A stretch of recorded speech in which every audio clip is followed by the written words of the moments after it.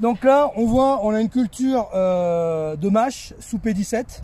Donc P17 qui permet de voile de forçage ou voile d'hivernage de protéger la culture sur la mauvaise période. On est fin d'hiver, la mâche a bougé entre temps. Euh, de toute façon, d'ici la fin mars, début avril, elle va monter à graines, à monter à fleurs. Donc c'est pas la peine de la laisser. Donc là, on est déjà sur une culture qui est récoltable. Et on le voit quand on découvre le reste euh, du P17, qu'on a suffisamment de mâches à récolter. Donc, deux façons de faire. La, plus simple est celle de prendre le jeune plant, d'arracher, de laisser tel quel, de mettre en cagette, et ou de recouper comme je viens de le faire pour enlever la partie racinaire qui est pleine de terre. Et on pose ça après dans sa cagette. Donc on a absolument pour faire son chantier forcément une cagette à côté dans laquelle on va déposer sa mâche. Donc l'exercice ici, ça sera de récolter comme ça. Simplement, vous voyez, c'est facile à soulever. Le collet, il est là. Donc, il y a deux façons de faire. La deuxième, c'est celle-ci. Donc, on prend avec son doigt, mais comme vous n'êtes pas très fort, vous risquez de vous couper les doigts. Et on soulève la mâche. Et des fois, on recoupe derrière s'il y a des choses à recouper, comme des feuilles mortes ou des feuilles jaunes. Donc là, c'est pas tellement le cas, donc elle est correcte. Justement, elle est à un stade où il n'y a pratiquement rien acheté. Il y a quelques feuilles jaunes, on le voit ici. Vous voyez là, celle de la base. Donc les premières, les, les plus anciennes commencent à jaunir. Donc on est au bon stade à récolter. Si on attend encore, il y aura davantage de feuilles jaunes et donc davantage de travail de tri. Or, quand on est en cuisine, le but c'est pas de vendre un légume et passer la moitié de son temps à le trier. Donc là, on a une mâche qui est impeccable. Impeccable. Donc un des sujets, ça sera la récolte de mâche. Donc je rappelle, c'est un légume feuille. Au niveau de la culture, la culture est saine. Il y a quelques euh, petites mâches qui sont encore petites, mais elle est bonne à récolter.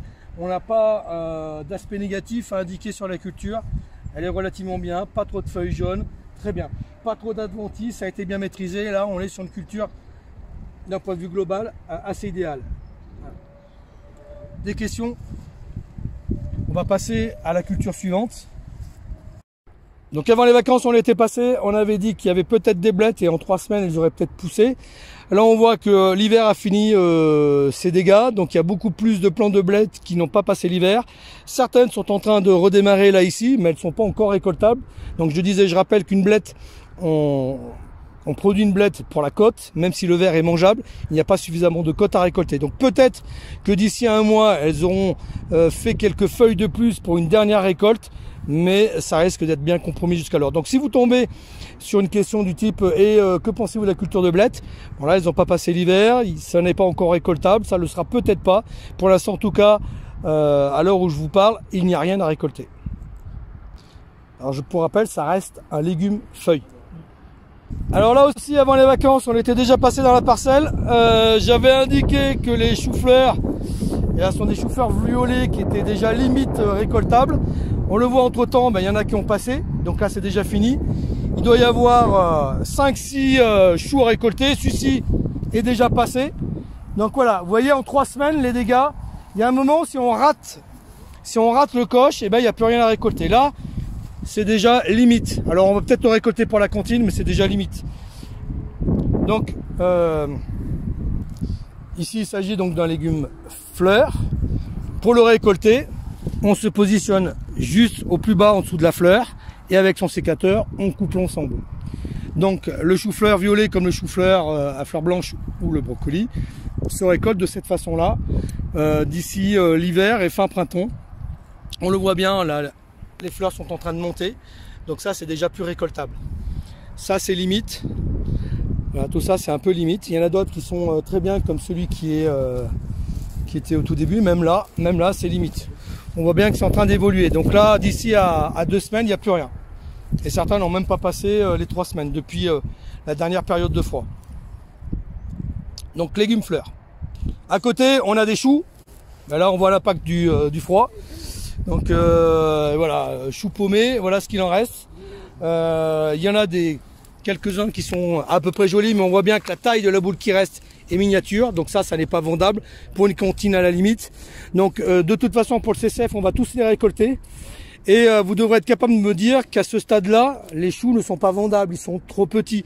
Euh, trop sont nécrosés, abîmés, ont été attaqués par des chenilles. Donc là, tout comme pour le, pour le, le chou-fleur, on va tailler au plus bas, puis on retourne le légume pour retailler la tige. Donc là aussi, un légume feuille. On peut voir qu'il y a eu, pour certains, il y avait des fois du puceron cendré qui était planqué à l'intérieur du feuillage. Mais voilà, à peu près cela. Là, on en voit certains. Vous voyez, ça, c'est miniature. C'est plus petit que ma main. Donc là, c'est pas vendable. Et si on regarde le reste de la culture, voilà, donc des choux, euh, à cette époque-là de l'année, ils ont tous été récoltés. Ça, c'est pas vendable. Vous voyez, même si on enlève tout le feuillage, vous voyez bien que là, c'est à moitié pourri. En revanche, sur faire un geste de récolte, on pourra toujours être amené à faire le geste. Mais là, c'est pas, pas vendable en l'état. Donc, vous devez être capable de dire, si vous tombez sur ce sujet-là, que ok, ça peut se récolter, mais ça n'est pas vendable en l'état. Euh, tous les problèmes culturels que l'on observe, c'est davantage lié aux froideurs, au froid de l'hiver et donc l'impact du froid sur la culture. En revanche, si on regarde l'état d'enherbement, on voit en ce moment beaucoup d'adventices et ce que l'on observe le plus, c'est des véroniques. Mais comme elles sont plus basses que la culture, c'est pas ça qui est préjudiciable pour la culture elle-même. Euh, pour qu'un chou soit récoltable, il faut au minimum qu'il soit paumé. Là, c'est pas le cas. Il faut qu'il y ait une pomme. Donc ça c'est paumé, mais le froid a abîmé les feuilles de dessus. Donc des fois, il suffit de les enlever, quelquefois on peut avoir quelque chose, mais tu vois bien que même d'un point de vue euh, du volume, c'est tout petit.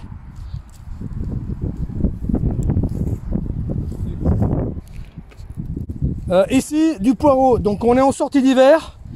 Ça sert à rien de garder du poireau. Ils sont petits. Si on regarde par rapport à ma main, le diamètre du fût, il est minuscule, donc ce sont des euh, poireaux qui n'ont pas grossi.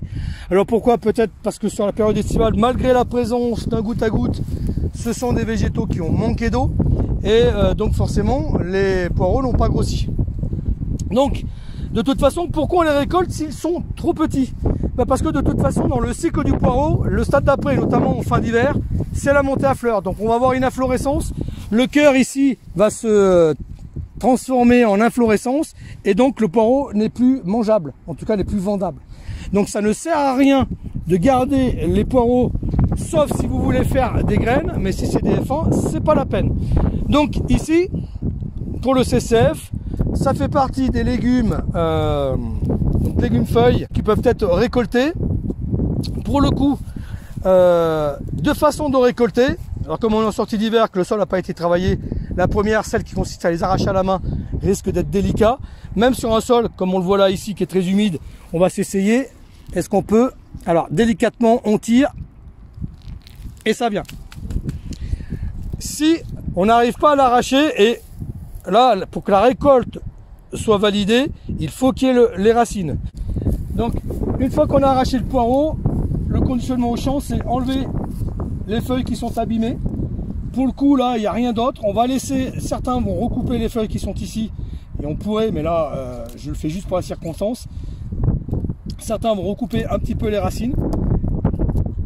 Puis, euh, en conditionnement, euh, en entrepôt, on peut être amené à rincer pour enlever la terre. Et on a un poireau qu'on va déposer tel quel, allongé le long dans la cagette.